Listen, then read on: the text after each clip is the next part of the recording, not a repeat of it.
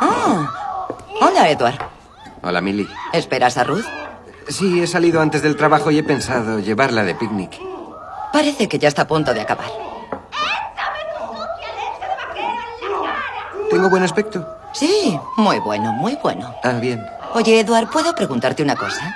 Sí, claro. ¿Te da igual que tu novia se tire como a 15 tíos distintos cada día y le paguen por hacerlo? Oh, mi trabajo también es un asco.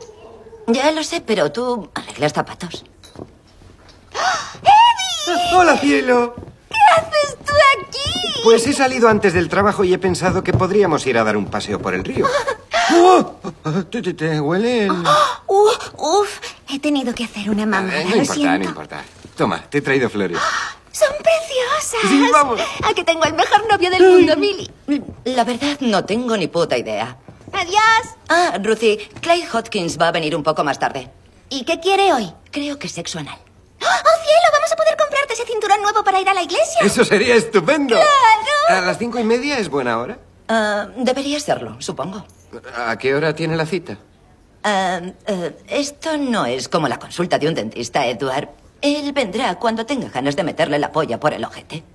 Ya, pues digamos cinco y media. De acuerdo. Oh.